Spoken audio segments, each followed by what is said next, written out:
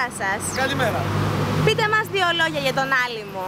Ο Άλυμος είναι μια πολύ ωραία περιοχή, ε, παραθαλάσσια, ε, με ωραίους ανθρώπους, ευγενικούς ανθρώπους, αλλά και κακούς ανθρώπους. Ε, επίσης, ε, εδώ, ε, εδώ η ζωή είναι ωραία ε, και με τα προβλήματά της, όπως φυσικό και επόμενο είναι. Ε, υπάρχουν ε, πολλά προβλήματα, όπως είναι φυσικό, όπως ε, μαγαζιά που δεν έχουν άδεια και κούνιες ακατάλληλες για τα παιδιά ώστε να παίξουν.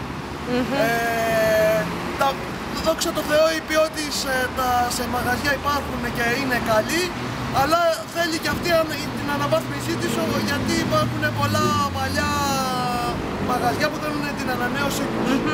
Ε, επίσης θα μπορούσα να προτείνω τη ζωή εδώ πέρα ανεπιφύλακτα γιατί είναι όμορφα, έχει αέρα, έχει πράσινο και συνθέτει βουνό και θάλασσα μαζί.